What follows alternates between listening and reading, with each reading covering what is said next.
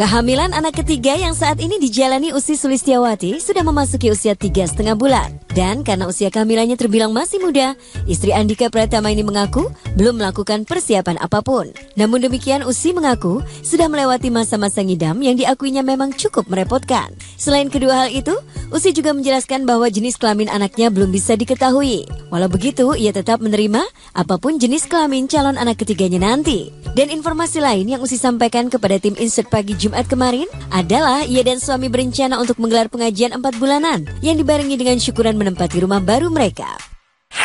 Belum masih lama baru tiga bulan belum ada persiapan udah lewat ngidam-ngidam udah lewat ngidam-ngidam macam-macam tuh kemarin sama temen aku selalu apa bilang lagi pengen apa pengen apa semalam pengen banget minum yang dingin-dingin jadi bukan ngidam yang aneh-aneh sih Untuk jenis kelamin sendiri? jenis kelamin belum nanti bulan depan insya Allah Berarti bukan Cewek- cewek cewek lagi. yang rewel ya, Mbak ya? Enggak, udah nggak rewel. Ini mah kebo banget, udah makan mulu. Tapi pengennya ya? Pengennya apa aja, kalau bisa cewek lagi, cewek lagi, kalau cowok juga nggak apa-apa. Tapi suami sendiri pengennya? Cewek lagi.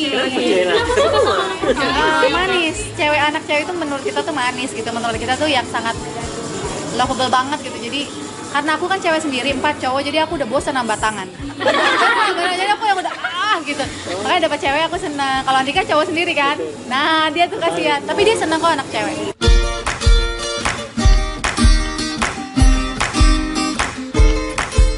Bagi Usi, kehamilan anak ketiga kali ini diakui tidak merepotkan dirinya. Terbukti dalam urusan busana yang harus dikenakan sehari-hari, wanita 36 tahun ini mengaku lebih senang menggunakan baju santai ketimbang baju resmi. Kalaupun harus menggunakan pakaian resmi yang dipadu dengan alas kaki berat tinggi, Usi akui itu hanyalah sebatas tuntutan pekerjaan yang harus ia lakoni. ini mah karena tadi aku bener-bener kalau aku nggak habis potatan juga pas mungkin di sini nggak ada andan kali nggak aku mah cuek-cuek aja. Aku mah nggak peduli sama orang mau ngomong "Ih, fashionnya begini begini nggak peduli. Yang penting menurut aku nyaman menurut aku itu enak aku pakai gitu. Ini ini ini lagi numben nih pakai hak tinggi biasanya pakai sepatu teplek ya itu tadi kan aku pemotretan terus aku dari rumah pakai sandal jepit pemotretan pakai baju nah ini tuh baju buat pemotretan oh iya ada acara ini. Makanya pakai itu pakai sandal nih mau beli sandal jepit nih biar nanti teplek oh pegel. Tapi sehari-hari seperti apa sehari-hari. Sehari-hari aku cuek banget. Cuek banget. Aku kadang aja nggak ada adan nggak ada acara juga nggak ada adan. Enggak dia mah dia suka apa pada aja Cuma menghindari sekarang menghindari udah mulai. Soalnya ini kayaknya ini aku lumayan gede. Tiga setengah. Udah naik berapa kalau boleh tahu, Mbak? empat kilo. Berarti udah mulai beli-beli baju baru?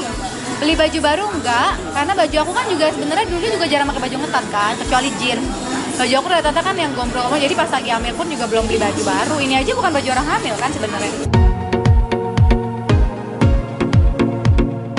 Selain Usi dan Andika, anak-anak Usi yang lainnya ternyata juga sangat antusias menyongsong kehadiran adik baru mereka. Saking antusiasnya, mereka pun sangat mengerti dan memahami kondisi ibunya yang saat ini sedang menjalani kehamilan. Situasi itu setidaknya Usi rasakan ketika dirinya tidak bisa mengajak anak-anak untuk liburan ke luar negeri karena dirinya sedang hamil. Tak satu pun di antara anak Usi dan Andika yang protes atas keputusan itu.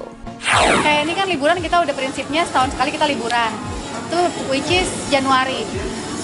Tahun lalu kita punya planning oh kita mau ke Eropa nih tahun ini. Lah aku lagi Januari kan hamil udah mulai udah udah enam bulan. Yang deket-deket aja deh kita ke jangan ke Eropa mereka ngerti. Ma- malah mereka bilang apa nggak usah liburan? Nggak apa-apa sampai begitu. Cuman akunya karena udah janji ya udah kita jalan yang deket-deket yang penting liburan gitu. Mereka sangat ini kok sangat sangat apa ya pengertian.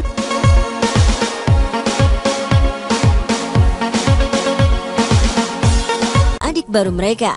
Saking antusiasnya, mereka pun sangat mengerti dan memahami kondisi ibunya yang saat ini sedang menjalani kehamilan. Situasi itu setidaknya Usi rasakan ketika dirinya tidak bisa mengajak anak-anak untuk liburan ke luar negeri karena dirinya sedang hamil. Tak satu pun di antara anak Usi dan Andika yang protes atas keputusan itu. kayak ini kan liburan kita udah prinsipnya setahun sekali kita liburan.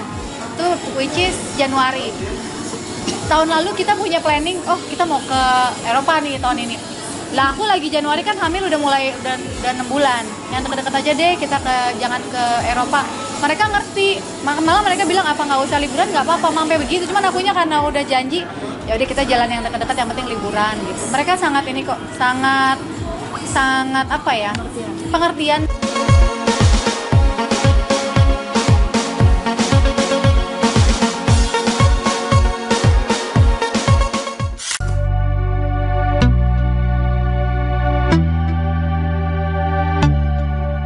Tercatat sudah satu bulan lebih selesai mengucap ijab kabul pada 30 Juli lalu, Ben Kasyafani dan Nesha Ayu Nabila atau yang akrab disapa Ines hidup bersama sebagai pasangan suami istri. Sebagai pengantin baru, tentu Ben dan Ines tengah menikmati masa-masa penuh bahagia. Selain itu, mereka juga tengah berproses untuk saling mengenal satu sama lain lebih dalam lagi.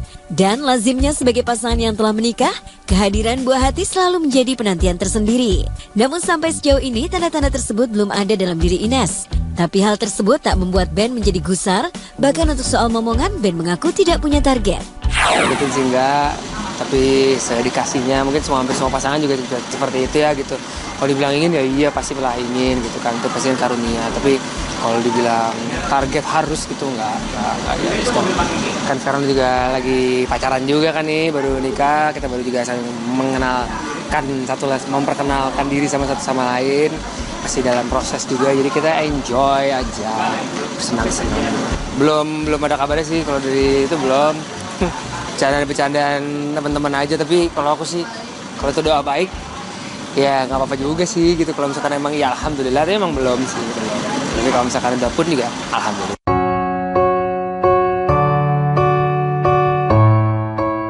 Jadi untuk dapat segera mendapatkan momongan dalam waktu dekat ini, Ben tengah berencana melakukan perjalanan liburan bersama selama sepekan. Tujuan Ben ke Pulau Dewata, Bali. Dan pastinya Ben juga mengajak anak pertamanya, Siena Amira Kasyafani. Ya, baik Ben maupun Ines memang tidak bisa meninggalkan Siena, karena mereka tidak bisa terlalu lama jauh dari Siena.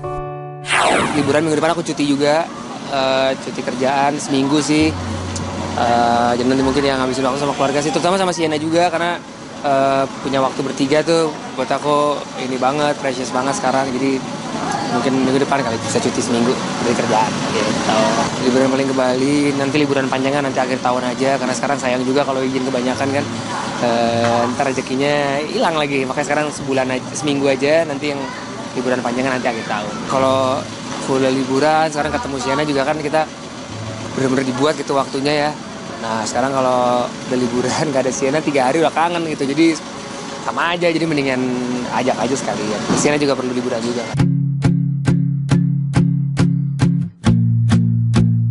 Sementara itu kebahagiaan juga direngkuh oleh pasangan Samuel Zilguin dan Franda yang menikah pada 8 Agustus lalu di Bali. Sebagai pasangan pengantin baru, keduanya sepakat untuk sementara menunda untuk dapat momongan. Namun mereka juga tidak menolak bila diberi keturunan lebih cepat daripada yang direncanakan.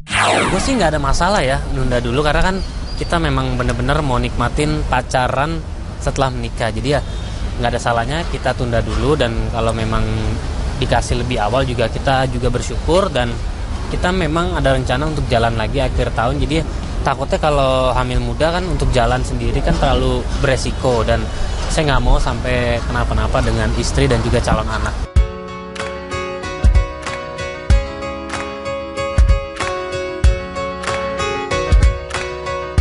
Sebagai pasangan baru tentu banyak hal yang berbeda mereka temui. Dan untuk mengatasinya, Samuel dan Franda sepakat untuk lebih intensif saling berkomunikasi terhadap berbagai konflik yang pasti akan muncul dalam rumah tangga mereka kelak.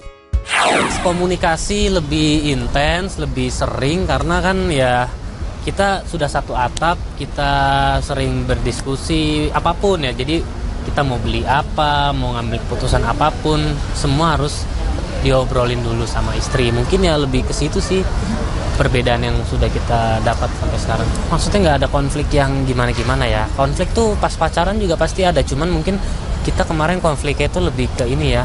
eh, persiapan untuk nikah. Jadi ya mungkin nanti konfliknya juga akan beda lagi. Jadi ya setiap konflik ya kita sudah komit untuk menyelesaikannya sebelum matahari terbit atau sebelum matahari terbenam. Tergantung kita dapat konfliknya itu kapan. Misal siang sebelum matahari apa sebelum matahari terbenam harus sudah selesai. Kalau malam sebelum matahari terbit udah selesai. Jadi begadang begadang deh tuh.